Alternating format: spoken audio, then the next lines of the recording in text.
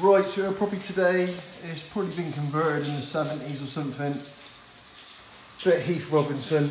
Um, always with these um, sort of problems, I'm always suspicious of damp problems. We know this damp, but it's about finding the cause. Now this is just a classic example.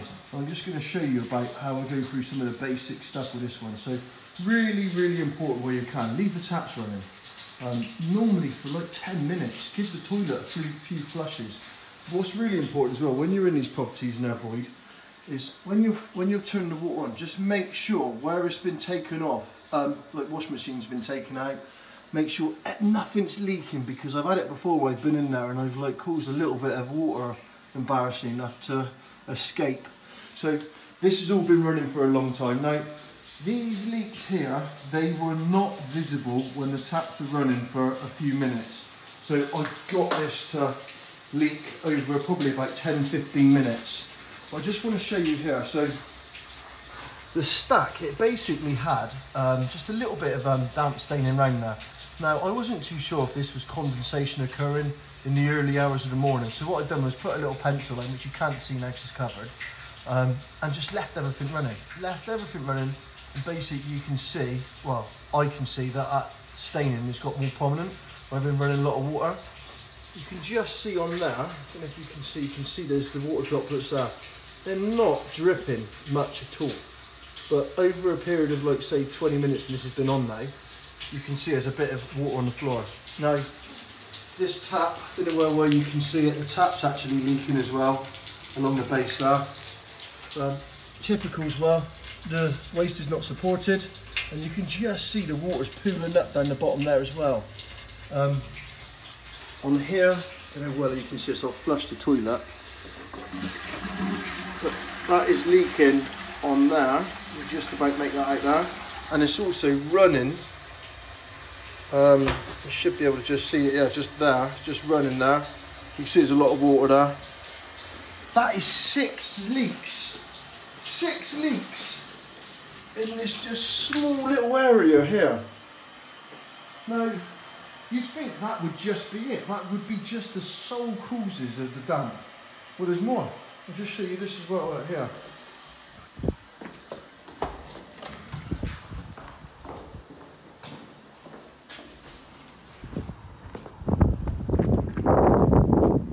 There you go. There's an overflow. It's been leaking for a long time. It's nice and green.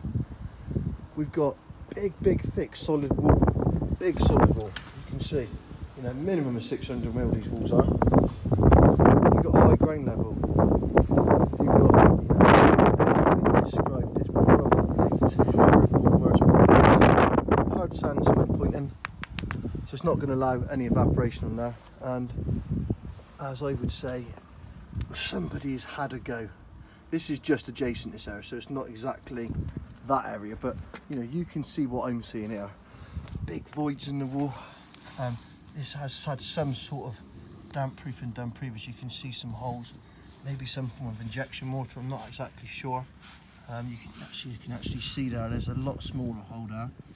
Um, I said just there. So that's probably been done the similar time as that.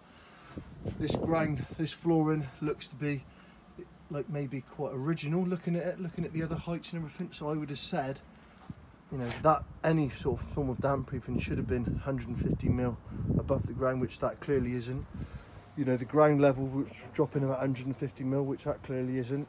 Um, so you can see here we got six leaks inside. We got another leak that's seven. We got the high ground level that's eight. That's eight problems there. And we've also got a bodged up fan which isn't going to help anything. This is like nine problems um, initially, you know, and also with this type of property as well, pipes going through the floor, you can see they haven't been like sort of like protected with any sort of tape or anything. So possibly there could be another leak under the floors. Um, what we use that, we got proper leak detection equipment so we can actually listen for the noises. So as you can see, this one job, there's so many problems there and like without spending the time to investigate this stuff, it's never ever going to be resolved. And what we're going to do is well, we're going to take some gravimetric samples on these walls. We're just going to see if there's any salts there, because there could be you know many things going on here. But um, you know that that, that wall there is block work. You can see there's no damp proof course in there. This floor, where I've inspected, I can't see any DPM. Um, there's probably been a Marley tile, some tile to start down, and maybe the bitumen was the damp proof membrane. This is further, I've got to have a little mess about with all this sort of stuff. So realistically, there's probably about 10 problems in just this small little area. Um, you know, so if you're going to be getting someone doing a damp survey, make sure they're spending the time to investigate. And if they are, you know, going to be doing any remedial work, you need to make sure it's the proper work that's actually needed because anyone doing any damp proofing on these walls or whatever, it's not going to fix it. And what will happen is when they, if anybody did come back, they would then blame it on the leak that wasn't there previously. It probably was. Oh, I just changed onto this one as well. Here, you've got a shower, and if you see here, it's got lots of cracking along there, and you can just see on there. If I move this, you can just see that opening up them cracks. Anybody having a shower, as well as, as water's going to go down there, you can see the staining, you can see the water staining along the back there and mould. You know, these are all sort of the sort of things we'd be looking for and testing. Um, but this is what you get on a paid survey with all this proper equipment. But thanks for watching.